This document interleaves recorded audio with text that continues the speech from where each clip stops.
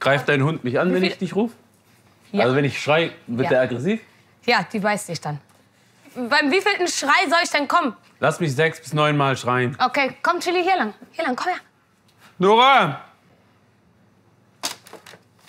Nora! Nora! Nora? Hallo! Nora, ich bin hier beim Reis. Hey! Ich warte schon seit vier Stunden. Es tut mir leid. Kein Problem. Mein Hund musste kacken. Hammer. Hammer. Schön, dich zu sehen, Wie geht's? Gut. Alles klar? Ja, super. Ich habe mir äh, nichts überlegt, aber wir gehen rüber zum Reis. Komm. Okay. Das ist Chili. Der Hund hat mehr Muskeln als. Äh, ich weiß nicht, ich habe kein Beispiel. Das ist ja ein Kalb. Ja, die ist schon ein halbes Pferd. Chili, salam alaikum. Salam alaikum. Chili, salam alaikum. Jetzt lässt du mich hängen einfach vor ganz Deutschland. Spricht sie Arabisch? Ja, ein bisschen. Chili, salam alaikum. Chili, kein Halek. Äh, Nora, weißt du, wann wir uns das erste Mal gesehen haben?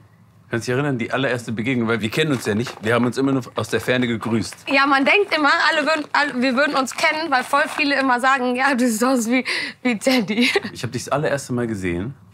Da warst du noch in Ah, ich- der. Wo? Ich weiß nicht, ob es das war, aber wir haben Jerks gedreht und da war Sido dabei. Und dann meinte Sido so, ey, weil er wusste, ich bin halt mega Teddy-Fan so. Und er so, warte mal, hier ist jemand am Telefon. Und dann warst du am Telefon. Da habe ich dich gesehen. Oder meinst du jetzt in Real Life? In Real Life, bei der Straight Outta Compton Premiere. Stimmt! Ja, Stimmt, das war, das war viel eher. Stimmt, wir haben sogar ein Foto gemacht noch. Abgefahren, was passiert ist bis jetzt dann, ne? Voll viel. Wir sind ja jetzt Arbeitskollegen mäßig. Wir sind jetzt Kollegen. Sind Du, du äh, nimmst alles auseinander schauspielmäßig, ne? Und du bist ja auch eigentlich Sänger. Äh, Nee, aber du bist ja eigentlich auch Sänger. Ja, ich, ich, ja, ich singe halt, wenn wenn ich, wenn es mich, es mich packt, dann singe ich, ja. Ja. ja. Ja, voll. Aber wie, wie, wie, kam das, wie kam das zu dir? Oder war Schauspiel immer in deinem Leben? Nee. Ehrlich gesagt gar nicht. Und ich muss auch sagen, sind echt scheiß Arbeitszeiten. So vor Mhm. morgens früh. Nee. Äh, Also finde ich überhaupt gar nicht okay, Mhm. weil. also sag also- das ruhig, die sollen das auch hören. Die, also die von Also ich habe ja auch gesagt, guck mal, ne, ich habe auch gesagt, nächstes Jahr ändert sich das in meinem Vertrag. Also erstmal, ich will ab 20 Grad arbeiten Hammer. und ab 11 Uhr mittags. Super. Ich würde sagen, ab 25 Grad, nur um und ab, ab 16 Uhr. Ja, genau. Von 16 bis 17.30 Uhr mit einer Pause. Das würde ich auch auf jeden Fall toll finden. Aber auf jeden Fall, das ist sehr anstrengend. Das Drehen ist an sich ist nicht anstrengend, ja. Aber diese Uhrzeiten sind auf jeden Fall heftig. Und wenn du zum Beispiel irgendwie eine Szene drehen musst, wo es Sommer ist, aber es ist eigentlich Winter. Das ist das asozialste am Schauspielerei. Aber ansonsten ist es voll easy, weil ich habe ja nicht mal einen Text, den ich lernen muss. Ihr improvisiert da viel, ne? Genau. Und ich lese ja nicht mal das Drehbuch durch. Du kommst einfach hin und dann sagt dir jemand, mach das, das ist die Situation und dann machst du das. Genau. Weil ähm, ich lese Drehbuch seit erster Staffel nicht. Weil, du keine Zeit hast. Nee, weil ich einen Amazon-Account habe, so einen Premium-Account. Und ich will ja auch die Serie gucken und überrascht sein. Oh, was für ein Argument. Das ist Hammer. Ähm, ist halt eben mega nice, wenn die Serie wirklich rauskommt, dann ziehe ich mir die auch wirklich mit meinen Freunden dann halt rein. Und also, aber du wusstest das doch. Ich so, nein, Mann, ich habe nichts gelesen. Und so. Also nur meine Sachen lese ich immer durch. Und wenn das dann heißt, hey, okay, wir machen jetzt, wir lesen jetzt vor und so, bla bla, dann höre ich schon ein bisschen zu auf jeden Fall. Aber alles ist so wirklich. aber alles ist wirklich. Ich glaub, Real Talk ja, ist wirklich einfach nur Impro. Aber mein Traum, Tatort, Leute. Ich will Tatort? Polizist, aber ich will. Nee, Polizist nicht mehr. Ja, ich will Ehrlich? Tatortkommissarin. Ach krass. Ich habe ich hab, äh, zwei, ähm, zwei Filme gemacht für, für den ZDF. Äh, Wo du auch Polizist warst. Polizist war. Ah, wie, wie geil ist das, oder? Wie geil ist das? Für meinen verstreuten Schädel ist es so, ich war dann irgendwann mal so, okay, jetzt an die Tür klopfen, wieder fragen, wo waren Sie gestern? Ich war- ich dann irgendwann mal so, na, ich, will- ich will eigentlich den, den Typen, den Typen, den ich äh, gefragt habe, spielen. Also ich Ja. finde den, den, Den Verbrecher? Den Verbrecher, der ist viel Echt? mehr zu spielen. Ja, ich weiß, aber es ist langweilig. Oder du weißt? spielst eine Polizistin, die auch korrupt ist irgendwie. Das ist wieder interessant. Aber nur ein Polizist, der, der kommt und sagt, wo waren Sie gestern um 16 Uhr? Okay, um 15 Uhr, 13 Uhr. Und vorgestern 12 Uhr. Das Ding, du, gehst du kaputt. Ja, ich Das weiß. Und ich weiß Also auch. ich, ne, andere lieben das und können Ja. es auch viel besser. Mir, ich habe es mir selber, während ich es gespielt habe, hab ich mir nicht geglaubt. Me Tatort. Ist immer so, wenn ihr Eier habt, dann lasst ihr das, den Part drin. Warum glaubst du, ähm, lieben dich die Leute? Unabhängig davon, du bist talentiert, du bist, aber was ist der Grund, warum die so, warum die so bei dir sind? Ich weiß es nicht. Voll die schwere ehrlich gesagt nicht Was sagen denn deine erklären, Freunde? Ähm, was Voll meine ist auch eine Freunde Scheißfrage. sagen, ich weiß nicht, also was die Leute mir schreiben, ja, was ich so in DMs und sowas bekomme, ist eher so, ey, du bist real, du bist authentisch, äh, du bist relatable. Was denkst du bei dir? Nee, ich kann dir sagen, was ich bei dir denke. Ich glaube auch, dass es einfach, weil du, weil du so eine authentische Person bist. Und bei all den wilden Sachen, die du machst, spürt man irgendeine Ehrlichkeit und was Schönes drunter. So. Man hat immer das Gefühl, man kennt dich. Also man hat so, man hat Zugriff zu dir als Mensch. Das, das, da ist irgendwas Schönes drunter. Alles andere ist auch schön, aber es ist halt eine Performance. Aber darunter ist irgendwas Ehrliches. Das ist das, was ich bei dir sehe. Bei mir ist klar, Optik.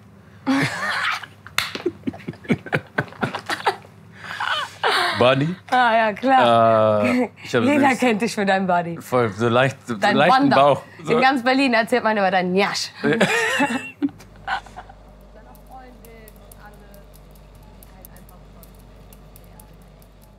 Und ich habe das halt mega gefeiert, dass du Habischer bist. Ich war so, der ist Habischer!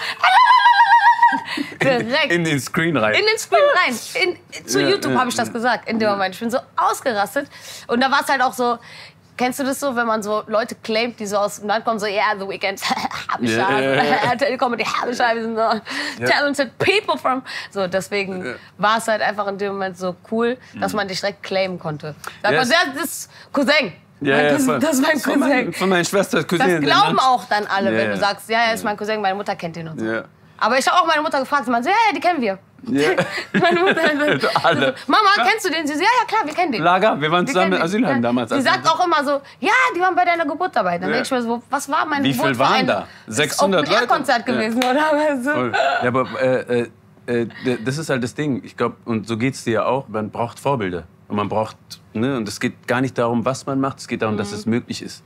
Das heißt, wenn, wenn man eine Nura sieht und sieht, was die für eine Karriere macht, für die ganzen jungen Menschen da draußen, auch für die Älteren ist es so krass. Ja. Ich kann das, ich krieg das, ich kann das auch schaffen. Ne? Die ist so von dem, wo sie herkommt, das, was ich so weiß an Informationen, Mhm. krass, was sie geschafft hat, ne? Mit Fleiß und dranbleiben und keine Ahnung, wo es nicht leicht war. Es ist halt einfach so, dass Berufe, die so kreativ sind und so, Mhm. vielleicht nicht so hoch angesehen werden, so, weißt du, in, in unserer Kultur, weißt Mhm. du. Ich weiß, meine Mutter hätte es lieber gewollt, dass ich so ne, hier studieren, äh, Ärztin, Anwältin oder sonst was. Aber dann kann man auch sagen, ja, guck mal, Teddy, ja, der, der macht auch so mal ja, weißt du? Und es ist ja immer so, Und dann sagt sie, ja gut, stimmt, der ist ein bisschen kaputter sogar. aber- ja, aber immer, du weißt ja, also Habischer mit Mütters so, wenn die sich treffen mit ihren Freundinnen, sagen sie, ja, meine Tochter hier, mein Sohn hier, mein, ah ja, und du so? Ja, ja, ja. Und dann warten die nur so drauf, dass die andere dann so erzählt, so hier, mein Haus, meine Kinder, dies, das. Und dann ist halt einfach mega nice, wenn auch jemand, der Habischer ist, Mhm. auch was mit Kunst macht und du so sagst, so, ja, guck mal, Mama, weißt du, was ich meine? So, nicht jeder muss der Zahnärztin werden. Ich, ich weiß noch, als, als das allererste Mal Afrop an den Start kam damals, so in meiner Jugend, und ich konnte es nicht glauben, weil der auch einfach so gut war. Und das erste Album, ich bin ausgeflippt damals. Und das hat so richtig Mut gemacht. So. Ähm, aber was sagt deine Mama? Ne? Ich hab, vorhin habe ich mich das gefragt. Ne? Wenn du so freizügig bist und deine Videos und diese Provokation nach vorne und setzt dich auch für die guten, ne, für gute Dinge ein. Ja. Aber wenn die dich so sieht, macht sie dann auch manchmal so. Hi. Ja, ne, ui, ja, ne. Ja, ja, 100 Prozent. Aber soll ich die witzigste Geschichte überhaupt erzählen? Ich werde ab jetzt meinen ganzen Beef nur von meiner Mutter klären lassen. Ja? Ab jetzt, wenn irgendein Rapper mich disst, schick den Diss auch direkt an meine Mutter. Schick, gib dir gerne die Nummer, du kannst an meiner Mutter und dann wird meine Mutter deine Mutter anrufen. Und dann Ja, klär, so ab jetzt kläre ich das alles nur so. Weil ich krieg eine Nachricht auf Instagram und auf jeden Fall auch Habischer Profil, ja? Und da stand halt vorne so drauf so, hey, was geht? Hey, du bist Habischer. Und dann nicht geantwortet und er so, Oh, So. Wo, wo kam das denn her plötzlich? Genau, genau, genau. Aber es war so über Monate. Ne? Er hat so über zwei, drei Monate Oh. geschrieben, mir mal mehrere Nachrichten. Also, was soll das? Guck mal, ne? ich sag dir eins. Amerika hat NSA. Israel hat Mossad. Ich habe meine Mutter und ihre Freundinnen. Die Ja. sind die, die, die, die, die, die, die, zack, zack, zack. Die sind den ganzen Tag am Telefon. Meine Mutter ist am Haustelefon und am Handy. Und auf jeden Fall, dann hat meine Mutter die Nummer herausgefunden. Dann sagt sie, ja Mama, der hat mich. Die so, äh, warum und so? Warum Schlamper? Sie sagt mal Schlamper. Sagt er, warum nennt er dich Schlamper? so, keine Ahnung, Mama. Bla, bla, bla, weil ich ähm, leicht bekleidet bin. Und sie so, okay, alles klar. Wir rufen da an. Und dann sagt sie so, ja, euer Sohn hat meine Tochter beleidigt. Und dann meinten die so, oh mein Gott, das tut uns voll leid. Der darf immer nur so drei Stunden am Tag das Handy haben und so. Der hat uns gesagt, dass er lernen wird für die Schule und so, dies, das. Also alle beschimpfen. Ey, so, du hast drei Stunden Zeit, Also Junge. alle, ganz Deutschland. Und dann nimmst du dir Zeit dafür, dass Voll. du mich beleidigst. So. Dann haben die den ans Telefon geholt. Meine Mutter so, warum hast du meine Tochter beleidigt? Dann sagt er so, ja, weil, ja, weil die ist auch aus meinem Land und die rennt so halbnackt rum. Dann sagt meine Mutter so, was interessiert dich das? Bist du ihre Mutter? Bist du ihr Vater? Die kann machen, was sie will. Das juckt dich gar nicht. So, die hat den so Krass. auseinandergenommen. Und ich war so, You go, Mama, you go! Und ich war so stolz. Und ich dachte mir so, boah, das ist einfach so der heftigste Rücken, den Ja, du haben Mama- kannst, Mama ist, ist andere deine. Mutter. Ja, ja. Weil ab jetzt, die wird alles jetzt klären. Ich, ich sag euch ganz ehrlich, Nimmst du die auch mit aus Security-mäßig auf Tour? würde ich auch sagen, weil keiner traut sich da was. Na klar, keiner Mama traut da sich ist, da was. Die ist haben, egal, wer da die haben alle heftig. Respekt davor. Und deswegen, ähm, Ja, ich, meine Mutter bietet auch Schutz für andere Leute an.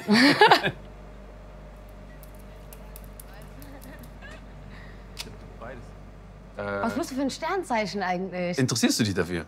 Ja, Aber mäßig. okay, aber, okay, mäßig. Dann was? Aber was ich kenne mich denn nicht meine, aus. Okay, aber was so wäre ich denn? Ich glaube nicht, dass du Widder bist, weil die sind immer crazy. Ich hasse Wind. Nein, ich hasse Ja. gar nicht. Ich weiß nicht. ähm, Ich hoffe nicht, dass du Skorpion bist, Alter. Das Boah, das wäre wär natürlich. scheiße, wär, oh nein, du bist Skorpion! Chili, komm! Wa- wa- Was ist denn mit Skorpion? Was? Also nehmen wir mal an, ich wär's. Kriegst du dann dein Vitamin C? Ich liebe Passion Fruit. Ich Mhm. bin größter Passion Fruit Fan. Danach würde ich sagen Ananas Mhm. und danach Erdbeeren. Und Apfel? Oder Birne? Apfelbirne? Nee, aber Apfel auch. Apfelbirne? Aber ich liebe Apfel und Birne. Und Mhm. Apfelbirne. nee, Apfel liebe ich. Birne habe ich Allergie auch. Das ist so funny, dass du das sagst. Warum, warum sagst du dann Apfelbirne? Wenn Nee, ich sag Allergie nie, hast? ich habe nie Apfelbirne gesagt. Apfelbirne habe ich gesagt. Na. Wir können recherchieren. Na. Birne? Apfelbirne? Ah, lass die Leute entscheiden Also, in den Kommentaren. Was hat er gesagt? Apfelbirne habe ich gesagt. Also Antoine, nicht Apfelbirne. Das ist schon ein bisschen fake. Ich werde jetzt auch nächstes Mal über Kiwis rappen. Ey, das Ding ist... Obwohl ich sie nicht essen kann. Ey, ich will auch so einen Move haben. Obwohl ich keine Birne essen kann. Schwenk weg. Ich, ich, muss- ich muss weg aus dem Bild. Schwenk, danke. Sag mir, du, äh, äh, alles, was zu privat wird, sagst du mir, ne? Ja, ja, klar. Und wenn es hier zu kalt wird, sagst du auch. Ja. Ähm, du bist, äh, warst im Heim. Ja, Warum? ich war im Heim. Weil ich ein schon ein bisschen anstrengendes Kind war. Damals war es so, ich war richtig sauer, wenn meine Mutter, wenn ich so gesehen habe, andere Kinder haben so in der Schule so Adidas-Schuhe und dies und das. Und ich war so, ja Mama, ich will auch. Aber ich habe gar nicht, gar nicht gecheckt, dass wir arm waren damals. Ich habe richtig nicht gecheckt, dass wir arm waren. Aber meine Mutter hat anscheinend so gut hingekriegt, mir so diese Illusion vorzuleben, dass wir reich wären, mäßig, nicht reich, aber dass wir Geld hätten, dass ich dann immer nach Hause kam und so Erwartungen hatte, weißt du? So, ja, warum habe ich nicht diese Das ist- Schuhe und so, weißt Das du? können halt Mütter, ey. Auch das ist das Krasse. Du kannst zwei, zwei Brötchen äh, essen und wenn das eine genau gleich ist wie das andere, aber die Mutter hat das gemacht, dann schmeckt das direkt um 120 Prozent besser. 120 Millionen Ne? Das Mal ist so besser. diese, diese Magie, die die Mama kann. Ja. Ne? Wollen wir hier weggehen? Ist voll kalt. Ist kalt, ne? Komm. Was ist schon Apfel? Was ist schon Birne? Wenn wir das zusammen tun, das ist Apfelbirne. Apfelbirne. Ja, Nora, das ist halt das Ding. Mit dir zu reden, ganz ehrlich. Das war mein Wunsch, das war mein Traum Finde ich gut. und ist jetzt in Erfüllung gegangen. Und deswegen würde ich sagen, wir sind nach der Werbpause.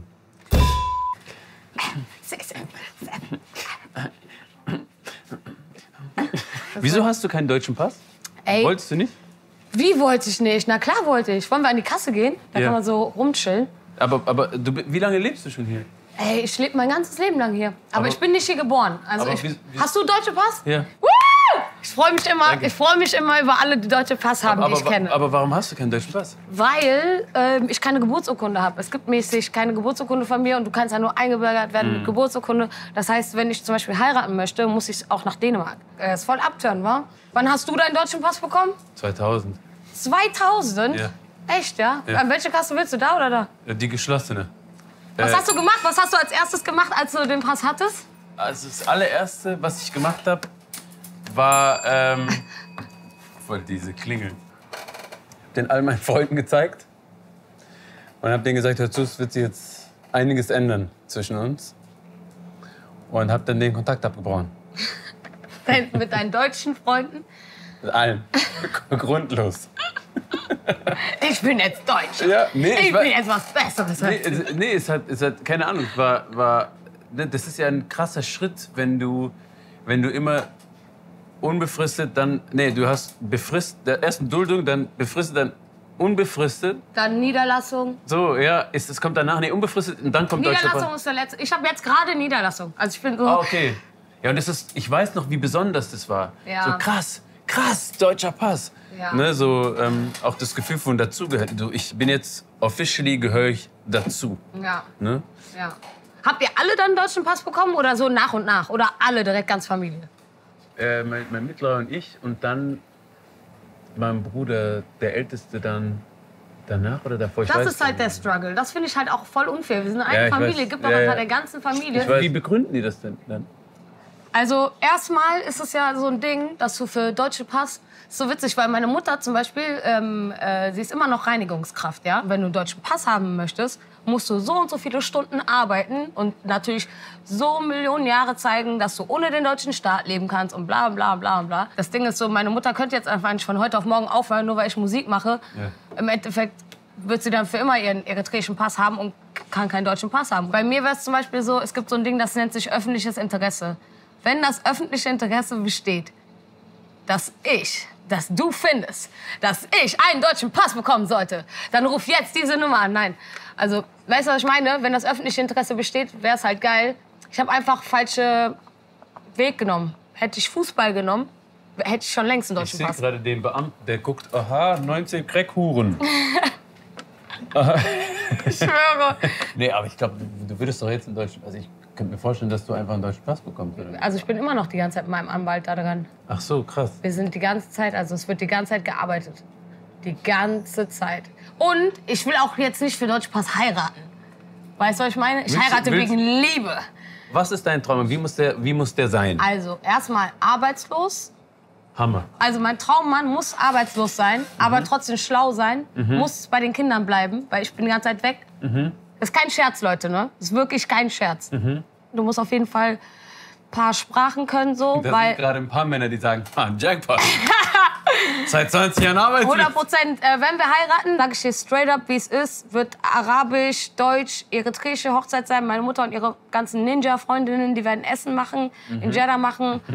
Und ähm, die sollte schon, ja, das sollte, die sehen immer aus wie die Power Rangers, wenn die auf Hochzeit sind, ne? ist heftig, oder? Wie die immer so, die eine in Rot, die eine in Grün und so. Immer Wars so in Rot und Dings. Deswegen, das ist nicht, it's not mu- much to ask, oder? Äh, nee, voll. Ich, äh, Arbeitsloser Mann, sorry, weil den bin ich doch überall in mich, auch, für Deutschland. mich, für mich wäre es wichtig, dass äh, meine Frau arbeitssuchend wäre.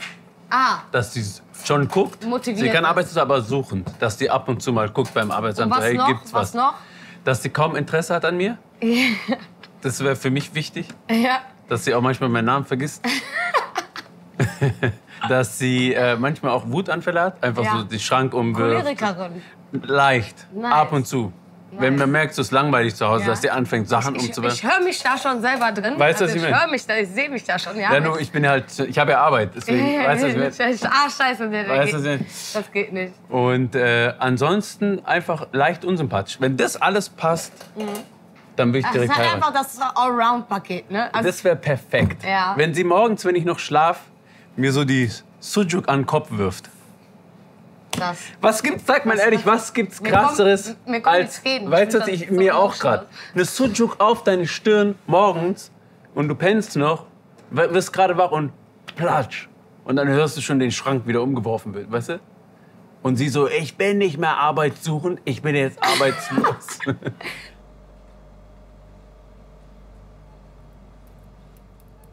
Sprichst du Tigrinya? ja. Also würdest du auch mit deinen Kindern, sage ich jetzt mal, Tigrinya sprechen? Äh, wenn ich äh, Kontakt habe, klar. Äh, dann ab und zu, wenn ich mit Wenn denen du rede, Kontakt zu allen neuen Kindern hättest, dann. dann würde ich mit denen Tigrinya sprechen. Aber was sprichst du mit deiner Mutter für eine Sprache? Tigrinya. Und mit deinen Geschwistern? Deutsch wahrscheinlich, die ganze Zeit, oder? D- Deutsch hauptsächlich. Hauptsächlich. Ja. Nur wenn ihr über andere lästert, dann Tigrinya, ne? Wir, wir, wir lästern kaum. Wir lästern kaum. Ihr seid Jungs, ja, Nee, stimmt. wir machen es eher mit den Augen dann. Ah, Aber und was ist jetzt dein Plan? Du bringst jetzt Alben raus natürlich und ähm, schauspielmäßig, die Discounter, ich bin auch voll der Fan von der Serie, ich finde die voll. Und ich habe die Jungs auch getroffen, die, die waren ja bei Antoine, da habe ich die kurz getroffen. ja, ja. Und die, die, ich feiere den, den Spirit voll. Ist es dein, ist So dein ist das auch am Set. Ja, super, richtig, richtig gut. Ist das dein Plan jetzt, schauspielmäßig Gas zu geben? Oder lässt du es auf dich zukommen so ein bisschen? Ich mag Schauspiel. Discounter ist übertrieben nice. Ich liebe es, dort am Set zu sein und so. Aber ich bin auch froh, dass es immer dann so eine Staffel pro Jahr mäßig. Das wäre schon viel, wenn es jetzt doch zwei Staffeln im Jahr gedreht werden, weil ich habe halt immer im Sommer Festivals und nach dem Sommer habe ich dann auch, auch meine eigene Tour. Das heißt, ich müsste Anfang des Jahres Discounter drehen, Ende des Jahres Discounter drehen. Ich mache dazwischen noch ein Album. Ich Das will noch viel. meinen Führerschein fertig machen dieses Jahr. Also mit dem Lifestyle, mit Album schreiben, Tour, Festivals und dann noch eine Staffel drehen, ich sehe da nur eine Lösung. Du brauchst Support von einem arbeitslosen Mann. Ich weiß. Ich weiß. Ja, aber hey, äh, ich glaube, ich glaub, wir haben es. War schön mit dir zu sprechen. Echt, ja, war auch äh, schön mit dir zu tun. Wir sind, wir sind jetzt gar nicht einkaufen gewesen. Sollen wir noch einkaufen gehen? Ja, nice.